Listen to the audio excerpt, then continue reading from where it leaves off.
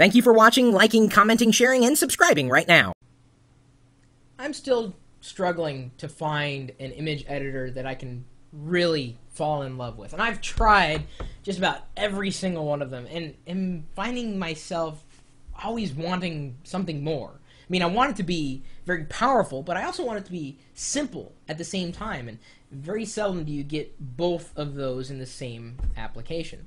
In some cases, uh, all I need is just a, a, quick and easy way of doing one thing or another, uh, and I don't necessarily have the software installed. For instance, when I was on my parents' computer, they did not have any photo editing software installed, and I needed to uh, do something, so I found a web application uh, that would help me, uh, you know, edit photos online.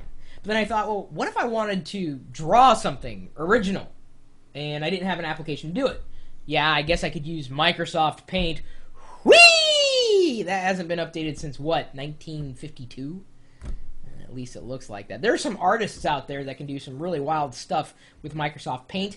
I am not one of them, so I need a, a better application, a, a, more robust application uh, that you know would be able to help me in a moment's notice create an image, not necessarily edit a photo at this point. I'm saying just create something. Maybe even, uh, yeah, edit a photo in a basic capacity, but creating and drawing. What do you use? What do you use? It's a, it's a good question. I mean, I know a lot of you say, oh, I use Photoshop. Photoshop's kind of overkill. I'm a Photoshop Elements kind of guy, although I haven't looked at Photoshop Elements for a few versions because I'm just not going to spend money on something like that because it's just like, well, it, inevitably I try it and it's like, eh. It just it's either slow or it's lacking in some way. It's like, eh. I'm still looking for a really good application, something that runs fast, that's clean, efficient, easy. I don't know. I have a feeling I'm going to continue uh, to look for something and never find it.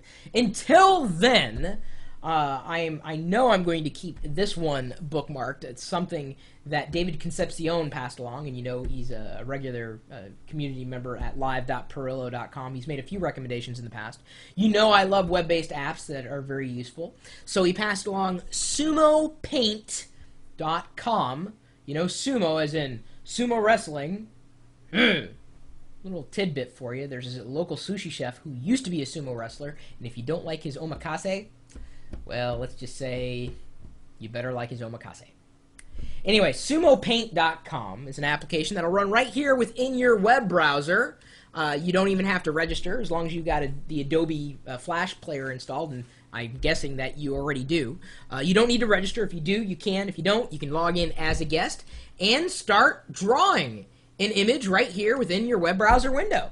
I mean, literally, look, I'm showing you this. This is not an application that I installed. This is here inside the web browser. And of course, I can do things that I could normally do inside an image editor. I just drew the squiggly line. It's like kind of pointless. I can change the color. So if I like red, I can go with red. Say I like, uh, let's see here, lime green. Go with lime green. Whee! But it's not just drawing. Of course, I can draw shapes if I wanted to. Uh, I've got, uh, oh, the symmetry tool, that's even a, a, little more advanced. The blurring tool, the smudging tool, the free transformer rate, rotating tool, the eyedropper tool, clearing the layer so you can work with layers. This is, well, kind of like a, an image editor of sorts, not just a photo editor, an image editor creator online, fully capable of handling layers including uh, different uh, effects on different layers as you would come to expect on an image editor, like lightening, darkening, multiplying, burning, overlaying, etc. You can even set the opacity for a layer. Uh, to choose to view the layer or not. This will get you through uh, a bind. If you don't have software installed or you're still looking for software to do something like this, you don't need to install it. You just need to go to sumopaint.com. In fact, here's a nice little thing, especially for those of you in web development you can input a color hex value and that's the color that will show up. Now that's again only impressive if you happen to be someone like me and, and do, someone who does web development and, and works uh, with that particular uh, i guess number type. The uh, uh there's also different ways you can configure. It looks like i've got uh, line opacity line diameter so i can increase that by a slider. So now my boxes will be a little thicker. Oh indeed that's a thick box the fill opacity, the mode, mode value. Boy, you can configure just about everything. Uh, you can go into full screen mode, zoom in, zoom out, apply different filters to that particular layer, add the new layer, move the layer up or down, select, deselect, rotate the canvas, undo, redo, cut, copy, paste. You can open from a Snap account, open from your computer, save to your computer, etc., etc., etc. So, this is the future of software, and uh, I'm I'm doing this right now. It's uh, look look I, will look I'll show you. Save to my computer.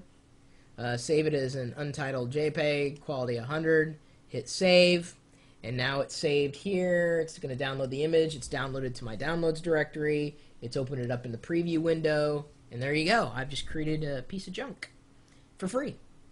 Maybe you're more skilled than I am. I don't know. Anyway, David, thanks for passing this along. I'll certainly have to keep it in memory, my own memory, so that I remember the next time I need something like this. I know where to go sumopaint.com. I know there are a few other online image editors that we reviewed before. This is a newer, I guess. I mean, it's, new to me. I don't know. I'd love to see something like this inside an Adobe Air application. That'd be even better, so that instead of having to go to the website to do it, I could just, you know, double click an icon and then have it pop up right there on my desktop. I'll get into how to do that within Firefox as soon as I can get that working. But yeah. until then, my email address is chris at Pirillo.com. Maybe you've got a, uh, something else that you uh, think is interesting for the rest of the world to take a look at, or at least our community here who's always looking for cool, free, fun, interesting stuff. Uh, you know, you're also welcome to stop by the website and chat it up with a handful of geeks. We love talking about this stuff. Uh, you know, software that you can play with, but you don't have to install or register for. All for it. So we're streaming out this live video 24 hours a day and typically talking tech here in the chat room at live.pirillo.com. We'll see you later.